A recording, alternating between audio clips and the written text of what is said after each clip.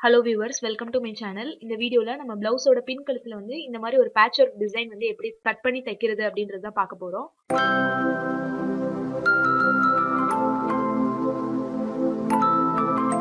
Video போறதுக்கு முன்னாடி இது வரைக்கும் என்னோட சேனலில் சப்ஸ்கிரைப் பண்ண எல்லா சப்ஸ்கிரைபர்ஸ்க்கும் ரொம்ப நன்றி. தொடர்ந்து இதே மாதிரி சப்போர்ட் பண்ணுங்க. இது வரைக்கும் நீங்க சப்ஸ்கிரைப் பண்ணல அப்படின்னா வீடியோக்கு கீழே இருக்க red colour subscribe button press பண்ணுங்க. பக்கத்துல வர பெல் ஐக்கானையும் சேர்த்து பிரஸ் பண்ணுங்க. அப்பதான் நான் வீடியோ அப்லோட் பண்ண உடனே உங்களுக்கு நோட்டிபிகேஷன் வரும். என்னோட வீடியோஸ் எல்லாமே நீங்க மிஸ் பண்ணாம பார்க்கலாம். இப்போ நம்ம இந்த வீடியோக்குள்ள போலாம். இதுக்கு நான் வந்து இந்த மாதிரி ஒரு டிசைனர் saree வந்து எடுத்து வச்சிருக்கேன். இதோட பிளவுஸ் கிளாத் வந்து இந்த மாதிரி பிங்க் கலர்ல கொடுத்துருக்காங்க. அதுக்கு தேவையான லைனிங் எடுத்து வச்சிருக்கேன். டிசைன் பண்றதுக்காக இந்த சாரியோட கலர்லயே வந்து நான் இந்த மாதிரி ஒரு அரை மீட்டர் அளவுக்கு கிளாத்தும் அதுக்கு தேவையான லைனிங்கும் நான் வந்து எடுத்து வச்சிருக்கேன். ஃபர்ஸ்ட் வந்து எப்படி பேட்டர்ன்ல கட் பண்றது அப்படின்றது பாத்துக்கலாம். பிளவுஸோட பேக் பேட்டர்ன் வந்து நான் கட் பண்ணி எடுத்து வச்சிருக்கேன். இதோட உயரம் வந்து பதினஞ்சு இன்ச் இருக்கு. ஷோல்டர் வந்து அஞ்சரை இன்ச் அளவு வந்து நான் எடுத்திருக்கேன். ஆம்ஹோலோட உயரமும் நான் வந்து அஞ்சரை இன்ச் வந்து எடுத்திருக்கேன். அதுக்கப்புறம் மார்பு சுற்றலை வந்து ரெண்டாம் அடிச்சு வச்சதுக்கப்புறம் நமக்கு வந்து இங்கே பத்தரை இன்ச் இருக்கு. இதில் வந்து ஒன்றரை இன்ச் வந்து நம்ம உள்ள தையலுக்காக விட்டுருக்கோம். இப்போ இது இதில் நம்ம ஃபர்ஸ்ட் கட் பண்ணிட்டு அதுக்கப்புறம் துணியில் எப்படி கட் பண்ணுறதுன்னு பார்க்கலாம். நான் கழுத்து அகலம் வந்து நான் ரெண்டரை இன்ச் வந்து மார்க் பண்ணுறேன்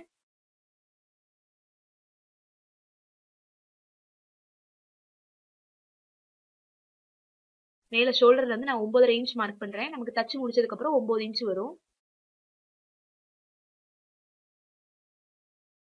இப்ப இதை நம்ம பாக்ஸ் மாதிரி போட்டுக்கலாம்.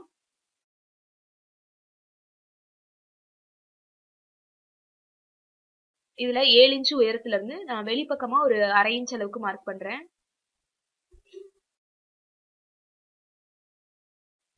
மார்க் பண்ணிட்டு இந்த மாதிரி ஒரு டிசைன் வந்து நான் வரைஞ்சு விட்டுக்கிறேன்.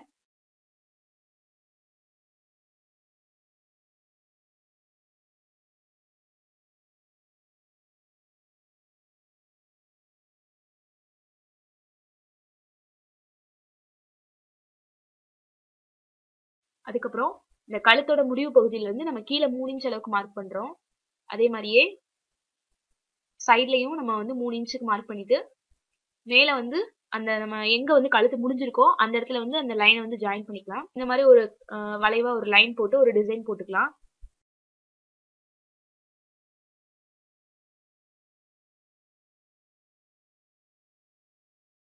அதுக்கப்புறம் மேலே நம்ம அந்த ஷோல்டர் எங்கே முடியுதோ அந்த இடத்துல இருந்து ஒன்னே கால் இன்ச் அளவுக்கு நான் வந்து மார்க் பண்ணிட்டே வரேன்.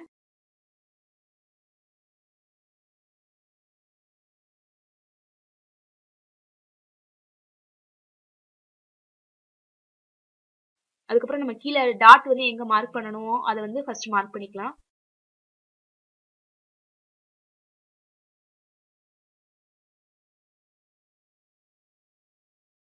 இப்போ டாட் மார்க் பண்ணதுக்கப்புறம் அந்த லைனை வந்து டாட்டுக்கு முன்னாடியே முடிஞ்சிற மாதிரி இந்த ஒரு வளைவா ஒரு லைன் போட்டு அந்த லைனை வந்து கீழே வரைக்கும் நம்ம எக்ஸ்டெண்ட் பண்ணிக்கலாம்.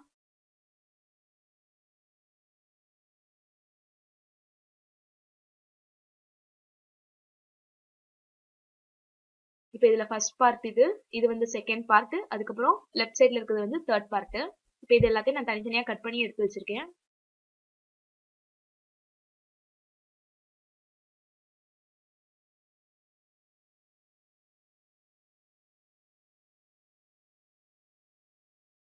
இப்போ இது மூணுக்கும் நம்ம தனித்தனியா கட் பண்ணி எடுக்க போறோம். இப்போ நெக் வந்து இப்போ இதுல வந்து நமக்கு இந்த மாதிரி தான் இருக்கும் கட் பண்ணதுக்கு அப்புறம். இந்த நெக் பார்ட் வந்து நமக்கு தேவைப்படாது. இந்த பேட்ச் ஒர்க் வந்து நம்ம கேன்வாஸ் வச்சு தான் பண்ண போறோம்.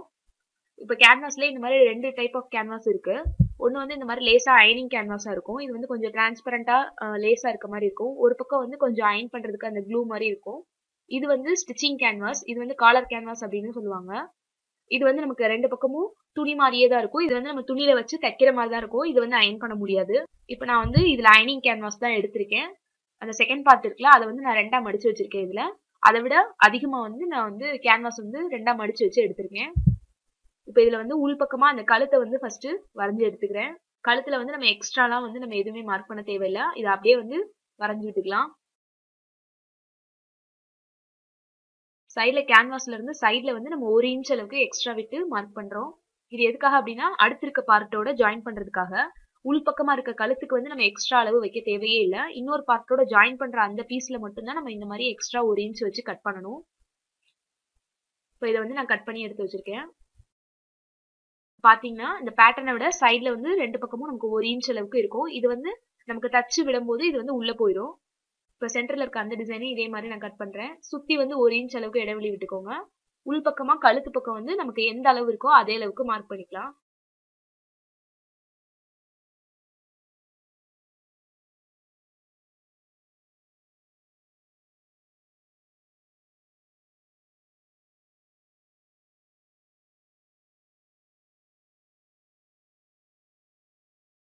இப்போ இதையும் கட் பண்ணி எடுத்துக்கலாம்.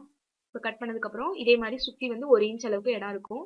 இப்போ இந்த தேர்ட் பார்ட்ல வந்து நம்ம கேன்வாஸ் யூஸ் பண்ண போறது இல்ல அதனால இது டைரக்டா லைனிங்ல வச்சு அப்படியே இதே அளவுக்கு நம்ம மார்க் பண்ணிட்டு கட் பண்ணி எடுத்துக்கலாம்.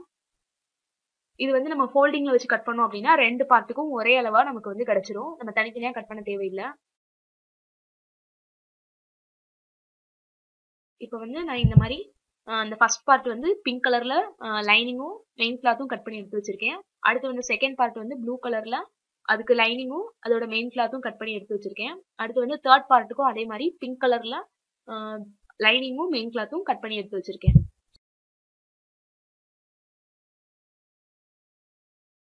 இப்போ நம்ம இந்த பிளவுஸோட கட்டிங் வந்து முடிச்சாச்சு. இப்போ ஸ்டிச்சிங் வந்து எப்படி பண்றது அப்படின்றது பார்க்கலாம். சைடில் இருக்க அந்த பீஸ் தான் வந்து ஃபர்ஸ்ட் தைக்க போறோம். இதில் வந்து ராங் சைட் மார்க் பண்ணிட்டு மேலே நல்ல பக்கமாக வச்சு நம்ம உள் பக்கமாக திருப்பி இதை வந்து தைக்க போகிறோம் இதுல வந்து நான் பைப்பிங் வந்து யூஸ் பண்ண போறேன். இப்ப தைக்கிறதுக்கு முன்னாடி அந்த லைனிங்க்கு மேல வந்து நமக்கு தைக்கிற அளவுக்கு வந்து மார்க் பண்ணி கீழ இருந்து மேல வரைக்கும் மார்க் பண்ணிக்கலாம். இப்ப இது ரெண்டுக்கும் நடுவுல வந்து நான் பைப்பிங் வைக்க போறேன். நான் சாரியில வந்து கோல்டு கலர்ல இருக்கிறதுனால நான் இந்த மாதிரி கோல்டு கிளாத்ல வந்து த்ரெட் பைப்பிங் வந்து தச்சு எடுத்து வச்சிருக்கேன். த்ரெட் பைப்பிங் எப்படி பண்றதுன்ற வீடியோ வந்து டிஸ்கிரிப்ஷன் பாக்ஸ்ல மேல ஐகார்ட்ல லிங்க் கொடுத்துருக்கேன் பாருங்க. இப்போ இந்த த்ரெட் பைப்பிங் வந்து ஹாஃப் இன்ச் அளவுக்கு இருக்கிறது வந்து நம்ம ஃபர்ஸ்ட் வந்து மெயின் கிளாத்ல வச்சு ஃபர்ஸ்ட் வந்து தச்சுக்க போறோம். இப்போ த்ரெட் பைப்பிங் வந்து மெயின் கிளாத்துக்கு மேலே வச்சு நான் ஃபஸ்ட்டு தைக்கிறேன். த்ரெட்டுக்கு பக்கத்திலே வந்து நம்ம தையல் போட்டுக்கிட்டே வரணும். எந்த இடத்துல எல்லாம் வளைவுகள் வருதோ அந்த இடத்துல ஊசி வந்து நிப்பாட்டிட்டு நம்ம தச்சுட்டே வந்தோம்னா கரெக்டாக இருக்கும்.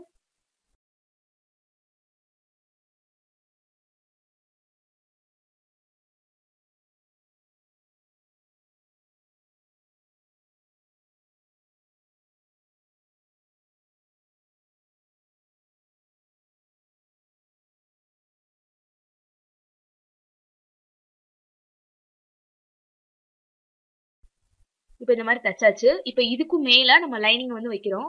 லைனிங் வந்து நம்ம மார்க் பண்ணிருக்க அந்த பிளேஸ்ல ஏற்கனவே போட்ட தையல் மேலேயே நம்ம வந்து தையல் போடலாம்.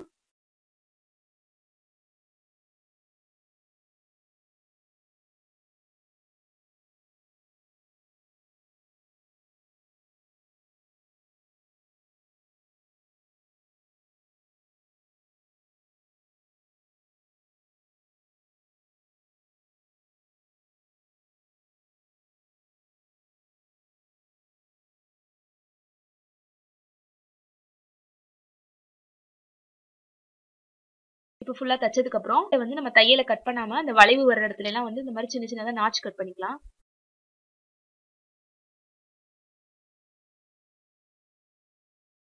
இப்போ கட் பண்ணதுக்கப்புறம் அந்த லைனிங்கை வந்து மேல் பக்கத்துலேருந்து உள் பக்கமாக திருப்பி எடுத்துக்கோங்க. திருப்பினதுக்கப்புறம் உள்ளே திருப்பி பார்த்தீங்க அப்படின்னா உங்களுக்கு அந்த நம்ம வச்ச த்ரெட் பைப்பிங் வந்து வெளியில் தெரியவே செய்யாது. நமக்கு லைனிங்க்கும் மெயின் கிளாத்துக்கும் நடுவில் போயிடும் இப்போ வந்து லைனிங் உள் பக்கமாக திருப்பினதுக்கப்புறம் மேலே வந்து மெயின் கிளாத்தில் அந்த த்ரெட்டை ஒட்டியே நான் வந்து இன்னொரு தையல் வந்து போட்டு விடுறேன்.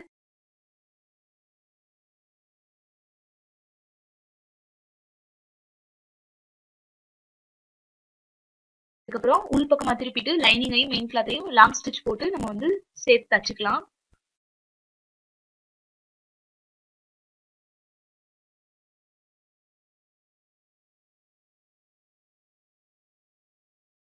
தச்சு முடிச்சதுக்கப்புறம் எக்ஸ்ட்ரா இருக்க கிளாத்ல வந்து கட் பண்ணி எடுத்துக்கலாம். நம்ம கட் பண்ணி வச்சிருக்க கேன்வாஸ் எல்லாத்தையும் வந்து துணியோட மெயின் கிளாத்ல வந்து நான் அயன் பண்ணி எடுத்து வச்சிருக்கேன் நான். இது வந்து மெயின் கிளாத்தோட ராங் சைடு வந்து நான் அயன் பண்ணிருக்கேன். இதுல ராங் சைடு வந்து நான் மார்க் பண்ணிட்டு அந்த கழுத்து எவ்வளவு இருக்கோ அதை விட ஒரு கால் இன்ச் அளவு விட்டுட்டு சுத்தி வந்து கட் பண்ணி எடுத்துக்கிறேன்.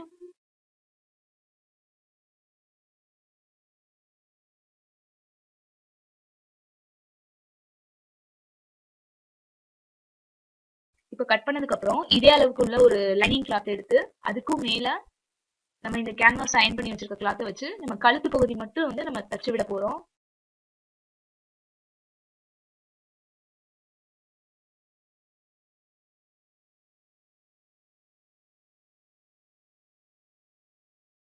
இப்போ கழுத்து பகுதியை தச்சு முடிச்சதுக்கப்புறம் அந்த கார்னர் பாயிண்ட்ஸ்ல எல்லாம் வந்து நம்ம நாச் போட்டுக்கலாம். போட்டதுக்கப்புறம் அந்த வெளியில வச்சிருக்க லைனிங்கை வந்து நம்ம அப்படியே உள்பக்கமாக திருப்பினோம்னா கேன்வாஸ் வந்து லைனிங்க்கும் மெயின் கிளாத்துக்கும் நடுவில் போயிடும் இப்போ வந்து அந்த கேன்வாஸ் எந்த அளவுக்கு இருக்கோ அந்த அளவுக்கு வந்து நான் அப்படியே ஒரு தையல் வந்து போட்டு விடுறேன். போட்டு விட்டுட்டு எக்ஸ்ட்ரா இருக்க அந்த கிளாத் எல்லாம் வந்து நம்ம கட் பண்ணி எடுத்துடலாம்.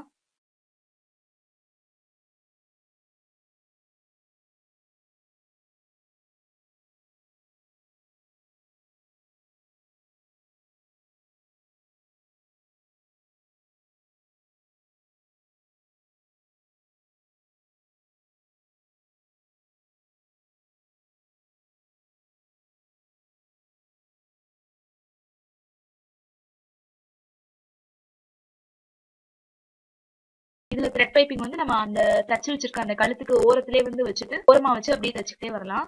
சென்டர்ல வந்து அந்த கர்வ் லைன் வந்து வர்றப்ப மட்டும் கட் பண்ணிட்டு திரும்ப வந்து நம்ம வச்சு ஜாயின் பண்ணோம்னா நமக்கு அந்த டிசைன் வந்து கரெக்டா திரும்பி கொடுக்கும். சென்டர்ல வந்து அந்த டிசைன் வர்றப்போ நம்ம வந்து த்ரெட் பைப்பிங்க கட் பண்ணிட்டு திரும்ப வந்து நம்ம இந்த பக்கமா கிராஸா வச்சுட்டு திரும்ப ஜாயின் பண்ணி தச்சுக்கிட்டே வந்தோம் அப்படின்னா நமக்கு வந்து அந்த டிசைனுக்கு ஏற்ற மாதிரி அந்த த்ரெட் பைப்பிங் வந்து வளைஞ்சு கரெக்டா இருக்கும்.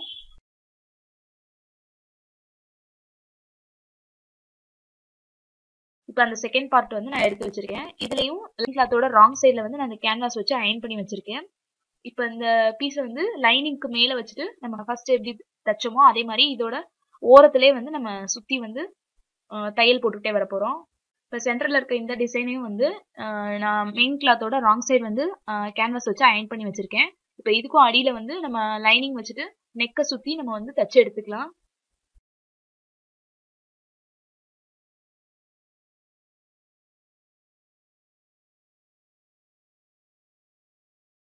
நெக்கை விட்டு ஒரு கால் இன்ச்சு விட்டுட்டு நம்ம கட் பண்ணிக்கிறோம். இப்போ கேன்வாஸை விட்டுட்டு எக்ஸ்ட்ரா இருக்க கிளாத்லாம் வந்து நம்ம கட் பண்ணி எடுத்துடலாம்.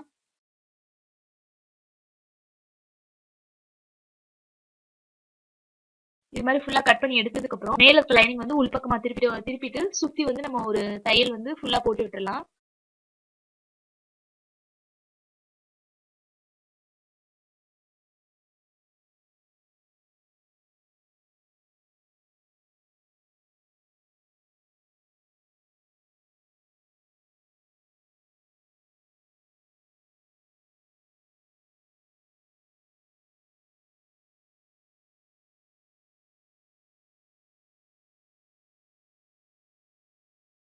இந்த மாதிரி ஃபுல்லா வந்து லைனையும் மெயின் கிளாத்தையும் வச்சு ஃபுல்லாக ஜாயின் பண்ணி எடுத்துக்கிறேன். இப்போ வந்து கேன்வாஸ் வந்து லைனிங்க்கும் மெயின் கிளாத்துக்கும் நடுவில் வந்து உள்ளே போயிடும் நமக்கு கேன்வாஸ் வந்து வெளியில் தெரியாது.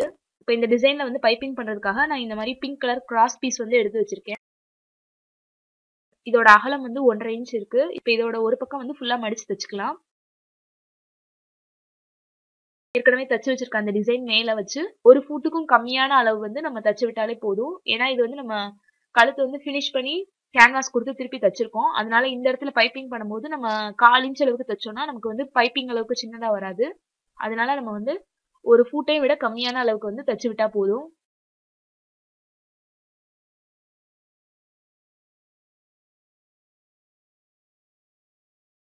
சென்டர்ல அந்த டேர்னிங் வரும்போது நம்ம வந்து லேசாக துணி வந்து மடிச்சு வச்சுட்டு திருப்பணும் அப்படின்னா நமக்கு வந்து கரெக்டா திரும்பி வந்துடும்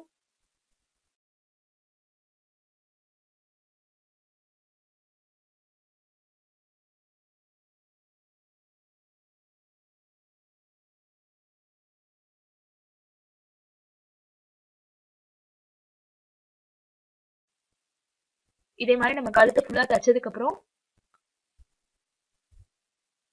இந்த துணியை வந்து உள்பக்கமாக திருப்பி நான் வந்து பைப்பிங் அளவுக்கு மட்டும் வச்சுட்டு தையல் போட்டுக்கிறேன்.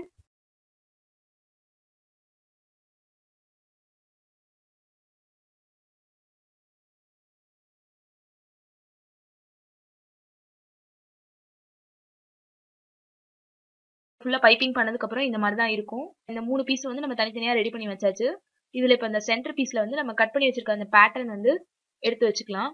எடுத்து வச்சுட்டு அதுல எக்ஸ்ட்ரா இருக்க அந்த அளவு மட்டும் நம்ம வந்து மார்க் பண்ணிக்கலாம். நம்ம எக்ஸ்ட்ரா எவ்வளவு விட்டோமோ அந்த அளவு வந்து மார்க் பண்ணிக்கலாம். அதே மாதிரி இந்த செகண்ட் பீஸ்லயும் அந்த பேட்டர்ன் வந்து நம்ம கட் பண்ணி வச்சிருக்க அந்த பீஸை எடுத்து வச்சுட்டு அதை அப்படியே ஃபுல்லா மார்க் பண்ணிக்கலாம். இந்த பீஸையும் இதுக்கு மேல வச்சு நம்ம மார்க் பண்ணிருக்க அந்த இடத்துல வச்சு ஃபர்ஸ்ட் ஃபுல்லா பின் பண்ணிக்கலாம். பின் பண்ணிட்டு இந்த ரெண்டு பீஸையும் நம்ம ஜாயின் பண்ணி விட்டுறலாம். நம்ம எப்பயுமே வந்து பேட்ச் ஒர்க் பண்ணும்போது அதோட ஸ்டார்டிங்லயும் எண்டிங்லயும் வந்து நமக்கு கண்டிப்பா டபுள் ஸ்டிச் போட்டு விட்டுறணும்.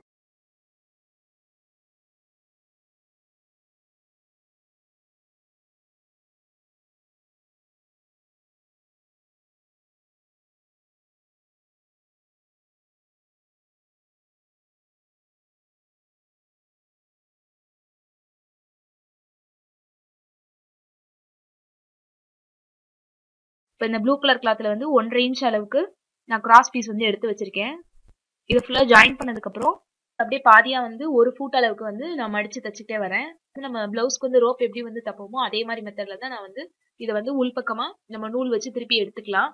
நம்ம வந்து ப்ளவுஸ்க்கு வந்து ரோப் எப்படி ஸ்டிச் பண்ணுறதுன்ற வீடியோ வந்து ஏற்கனவே அப்லோட் பண்ணியிருக்கேன். அந்த வீடியோ பார்க்கல அப்படின்னா கை கார்டில் லிங்க் இருக்குது கீழே டிஸ்கிரிப்ஷன் பாக்ஸில் லிங்க் இருக்குது கண்டிப்பாக பாருங்க.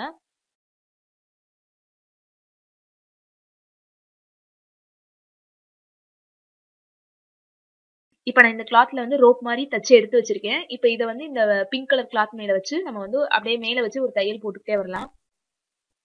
கழுத்தை ஒட்டி தையல் போடாம ஒரு அரைஞ்ச் அளவுக்கு இடம் விட்டு போட்டோம் அப்படின்னா நமக்கு மூணு கலரும் அடுத்தடுத்து தெரியும். இப்போ மேல இருந்து கீழே வரைக்கும் நான் ஒரு தையல் போட்டு விட்டதுக்கு அப்புறம். இந்த மாதிரி இன்னும் வீடியோஸ் பார்க்கணும் அப்படின்னா நம்மளோட சேனலை சப்ஸ்கிரைப் பண்ணுங்க. கீழே டிஸ்கிரிப்ஷன் பாக்ஸ்ல உள்ள லிங்க் வந்து கிளிக் பண்ணி அதுல இதே மாதிரி வீடியோஸ் நிறைய இருக்கு. கண்டிப்பா பாருங்க.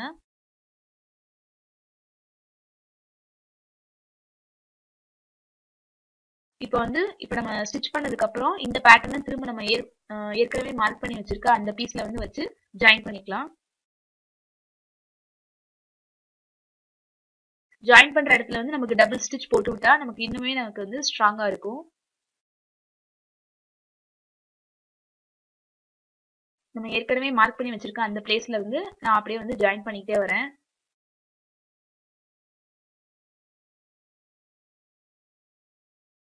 நம்ம இந்த மாதிரி பின் பண்ணி வச்சுட்டு தைச்சோம் அப்படின்னா நமக்கு வந்து அளவு மாறாம நமக்கு ஃபர்ஸ்ட் வந்து பிளவுஸ் பேட்டர்ன் எந்த அளவுக்கு இருந்துச்சோ அதே அளவுக்கு வந்து நமக்கு தச்சு முடிச்சதுக்கு அப்புறமும் இந்த டிசைன் வந்து இருக்கும்.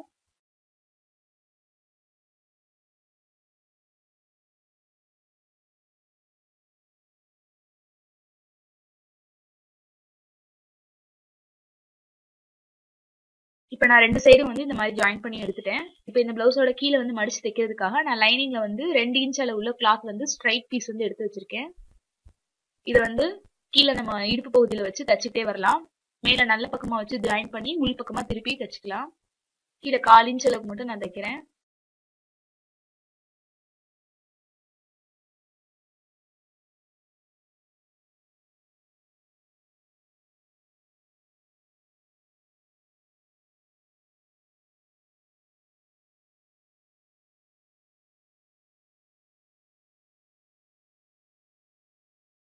இந்த மாதிரி தச்சு ஃபுல்லா முடிச்சதுக்கு அப்புறம் மேல் பக்கமா திருப்பி வச்சுட்டு ஒரு பதிவு தையல் போட்டுக்கலாம்.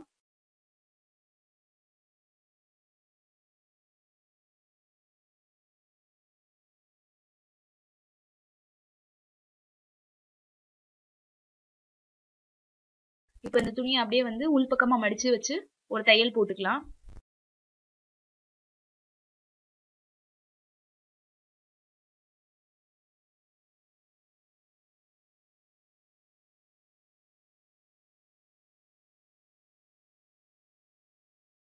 இப்போ நம்ம வந்து கீழே வந்து ஃபினிஷ் பண்ணி முடிச்சாச்சு.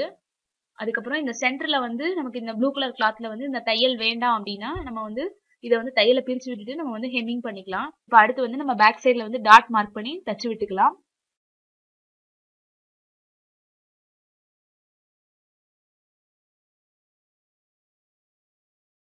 இப்போ இந்த டிசைன் வந்து ஃபுல்லாக ஃபினிஷ் பண்ணி முடிச்சாச்சு. இப்போ ஃபினிஷ் பண்ணதுக்கப்புறம் என்ன மாதிரி இருக்குது அப்படின்றத பார்க்குறீங்க இந்த வீடியோ உங்களுக்கு யூஸ்ஃபுல்லாக இருந்திருக்கும் அப்படின்னு நினைக்கிறேன். கண்டிப்பாக லைக் பண்ணுங்கள் உங்கள் ஃப்ரெண்ட்ஸோட ஷேர் பண்ணுங்கள் இதே மாதிரி நீங்களும் ட்ரை பண்ணி பார்த்துட்டு எப்படி இருந்ததுன்னு எனக்கு கமெண்ட் பண்ணுங்கள் இதே மாதிரி வீடியோஸ் பார்க்கணும் அப்படின்னா நம்மளோட சேனலை வந்து சப்ஸ்கிரைப் பண்ணுங்கள் தேங்க்யூ ஃபார் வாட்சிங்